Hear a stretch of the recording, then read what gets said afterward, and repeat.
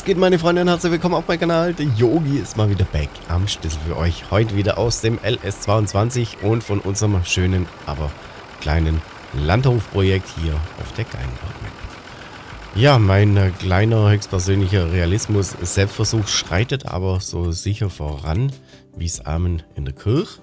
Ähm, wir haben in der letzten Folge so ein bisschen Probleme gehabt mit der Netzfolie hier für den Kuhn.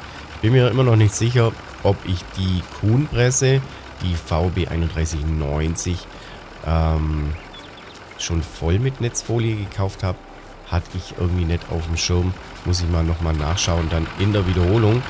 Nichtsdestotrotz geht es heute rein ins Ballenpressen. Und jetzt gucken wir mal, was der Kollege hier so zustande kriegt. Einmal anschalten. Einmal ablassen und dann gucken wir mal. Ich weiß gar nicht, ob der das von alleine rausschmeißt.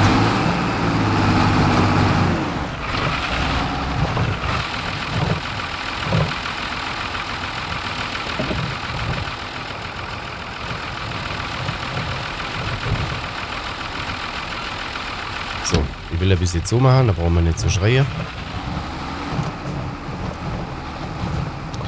Hat er irgendwie eine automatische Ablage? Abschalten, ja.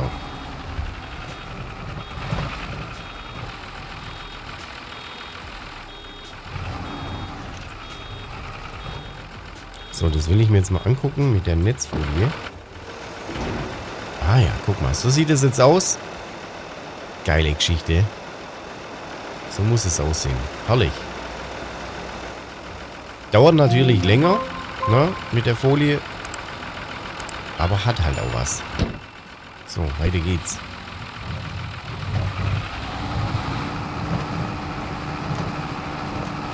...18 km/h Arbeitsgeschwindigkeit. Weiß ich jetzt nicht, ob das wirklich so realistisch wäre.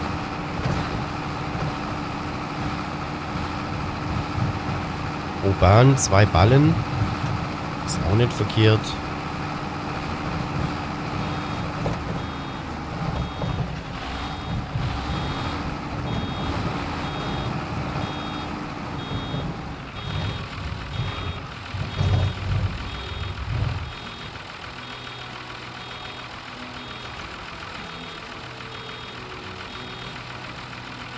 Ich, ich liebe es. Das, das entspannt gerade ungemein.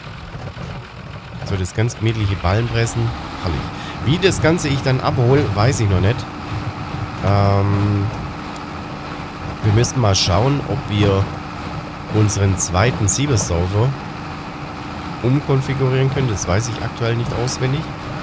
Dann würde ich das wahrscheinlich mal wieder versuchen, so wie es sich gehört, vom Feld runterzunehmen.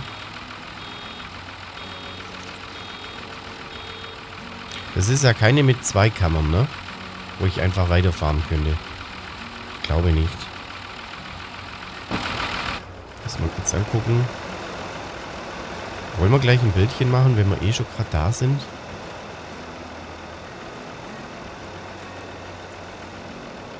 So vielleicht, dass man auch sieht. Zack. Herrlich. Immer noch das schönste Hobby, ne? Im LS Bilder machen. Bilder, Bilder, Bilder. Wenn ihr da mal Bilder habt, ne? Gerne in meinem Discord posten. Da gibt es extra einen Community-Bilderbereich. Dürft ihr mir gerne mal zeigen, wie ihr so unterwegs seid. Discord, Link findet ihr unten in der Beschreibung. Da äh, kriegt ihr auch immer am schnellsten die neuesten Informationen rund um meinen Kanal.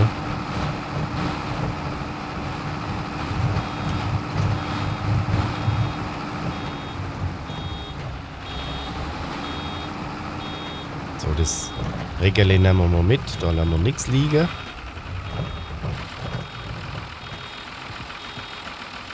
Jetzt können wir gleich mal gucken, ob ich jedes Mal noch ein Stückchen zurückfahren müsste oder ob das so geht.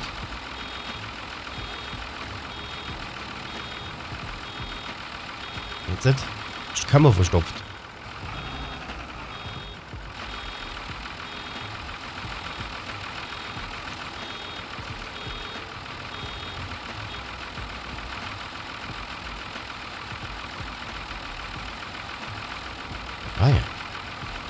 Ist irgendwie vertüttelt. Mal wieder. So, weiter geht's. Vollgas. Die Zeit rast uns so langsam aber sicher davon. Um 18 Uhr rum soll es anfangen zu regnen. Bis dahin sollte das Zeug, na klar, runter vom Feld. Also wir stehen so ein bisschen unter Zeitdruck. Weil das Frischgras, das, das, äh, das Klee, das können wir auch als Frischklee verfüttern. Das wäre jetzt nicht ganz so tragisch.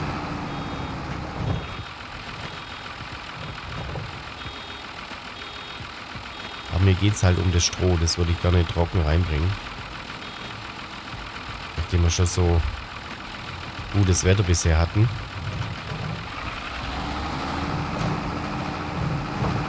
Ach ja, wir wollten eigentlich mal nur schauen, ne, wie der Ertrag war im oberen Feld. Lass mal gucken. Der Ertrag war hier. Oh. Ich hatte eigentlich gedacht, da waren wir besser unterwegs. Der ist nur bei 90% gewesen. Hier unten waren wir besser. Da waren wir 110, 115, teilweise sogar 120%. Okay. Naja, man muss nehmen, was, was halt da ist, ne? Da haben wir das ganz so gut geschafft wahrscheinlich. Dann ist es halt so. Man sieht. Nee, man erntet, was man sieht. So rum war's.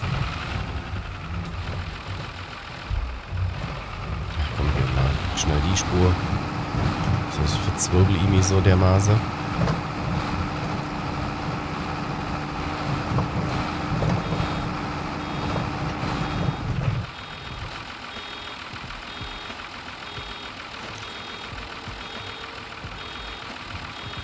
Die Netzfolie reicht halt auch Jahr und Tag, ne? Das hätten wir uns gar nicht kaufen brauchen. Das wäre jetzt zum Beispiel so ein Punkt, wo ich mir eintragen würde. Ähm, in meinen Discord, in mein Tool.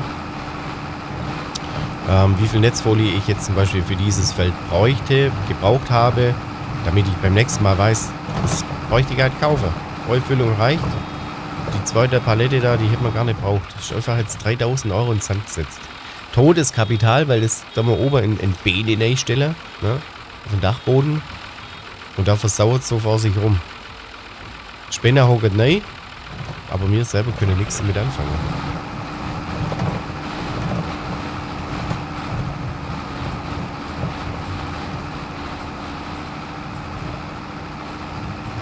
Uiuiui, da hocken wir gleich auf. Oh.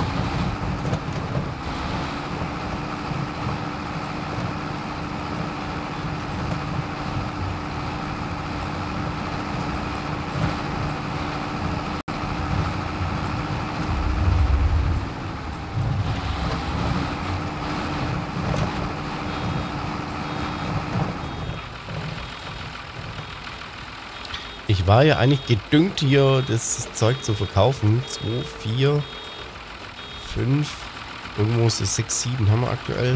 Mal gucken, ob sich das überhaupt lohnt oder ob wir das selber benutzen. Ich bin mir gar nicht sicher, ob wir Stroh bei uns überhaupt schon mal eingelagert haben.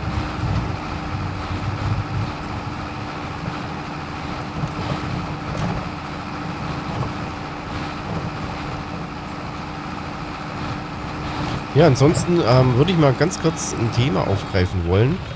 Ähm, ich habe es vorhin kurz angesprochen. Ich freue mich auf eine neue Seitenkonsole. Und da möchte ich schon mal so ein bisschen anspoilern. Ich war vor kurzem Zweitlinger, neu Dreitlinger, Zriedlinger, Entschuldigung, Zriedlinger. Und habe mich mit dem Raffi getroffen.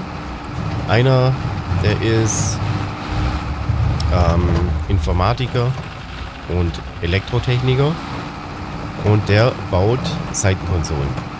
Und ähm, ich habe mich ja mit ihm und seiner Frau getroffen, ganz super sympathisch, ganz gemütlich, haben wir Kaffee miteinander getrunken und über alles mögliche geschwätzt. Also so ratzfatz war anderthalb Stunden darum. Das ging so schnell, also richtig gutes erstes Date, äh, waren wir uns einig. Ähm, und wir waren uns einig, dass wir zusammen mal ein bisschen was aufbauen und uns das Ganze angucken, äh, was wir da zustande bekommen. Und das würde ich euch dann mal so nach und nach ein bisschen zeigen wollen. Ähm, interessant. Es kann auf jeden Fall interessant werden für euch. Aber ich bin da klar aus einer Position, wo ich mir das erstmal angucken muss. Ne? Ich könnte das jetzt ja alles wunderschön reden, aber anhand von Bildern ist es halt nichts. Ne? Raffi hatte ein paar Joysticks mitgebracht, wo ich schon mal so Hand anlegen durfte. Waren ein paar schöne Dinge dabei, da freue ich mich sehr drauf. Aber unterm Strich muss man das Ding erstmal testen und bespielen. Dann kann ich auch mehr dazu sagen. Und das wollen wir tun. Ähm, ich bin jetzt, wahrscheinlich wenn ihr das Video seht, bin ich noch im Urlaub. Und nach dem Urlaub geht es dann los. Ähm, ich zeige euch so ein bisschen, na, wie, wie wird die Internetseite präsentiert, ne? wie aus der Sicht vom Kunde. Wie bestelle ich das Ganze? Ist es einfach? Ist es so ein bisschen praktikabel? Weil aus der eigenen Sicht, mir geht es ja mit meinen Maps auch so, da verliert man irgendwann den Blick dafür. Und ähm, dann ist es immer schön, wenn von außerhalb jemand kommt und sagt, du, das bei der Bestellung, da hapert es ein bisschen, da komme ich nicht ganz klar. Vielleicht könnte ich das so oder so ändern.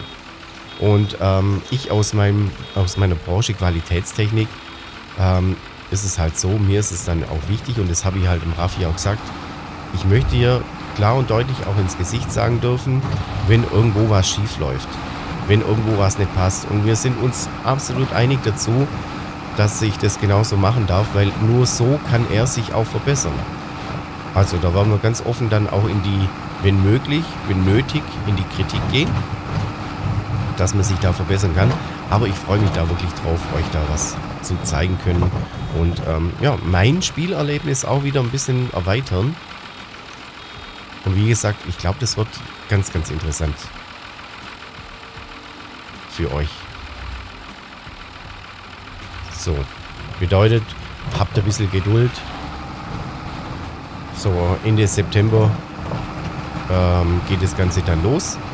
Und dann schauen wir uns das Stück für Stück an. Ja, wir haben schon so ein kleines Konzept uns schon mal aufgestellt. Wie gesagt, von Beginn der Bestellung bis zur Anlieferung. Wie kommt denn das Zeug überhaupt bei uns an? Ne? Ist es ordentlich verpackt und so weiter? Das ist halt heutzutage gang und gäbe, dass bevor man sich irgendwas kauft, guckt man sich das auf YouTube zum Beispiel an. Das mache ich selber auch.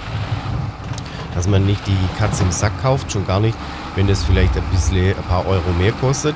Ne? Dann guckt man lieber vorher mal drauf. Und äh, genau aus der Sicht möchte ich das auch machen.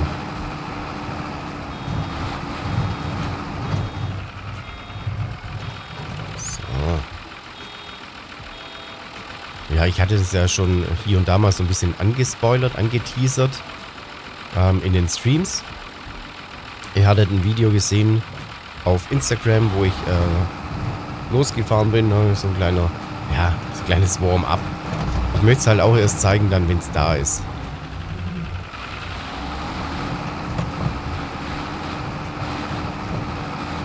Also wenn ihr da irgendwie eventuell, ne, ich, ich kann ja aktuell nur aus der hätte, hätte, Fahrradkette eventuell äh, Situation sprechen. Wenn ihr vorhabt, euch eine Seitenkonsole zuzulegen, dann wartet einfach mal nur ein bisschen ab. Guckt euch das an.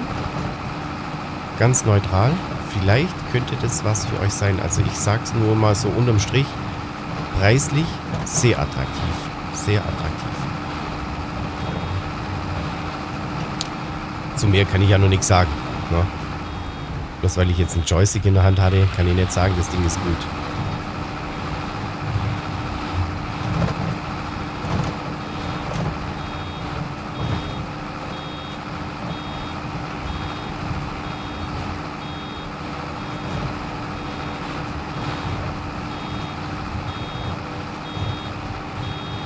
Ja, muss ich hier nochmal ein bisschen Platz machen. Das sehe ich schon kommen. Ich hier noch ein bisschen Platz machen. Das Ding ist ein, ein bisschen größer.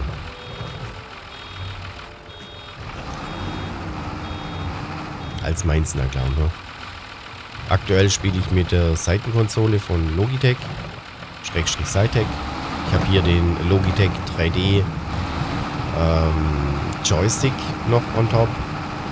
Und dann war es das schon. Mehr habe ich gar nicht. Ach, halt noch den Shifter.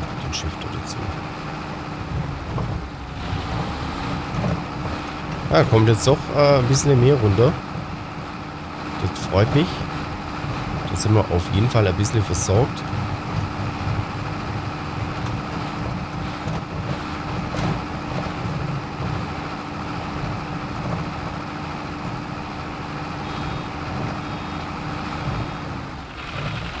Bisschen was habe ich noch zu tun. Das obere Feld muss dann auch noch gepresst werden.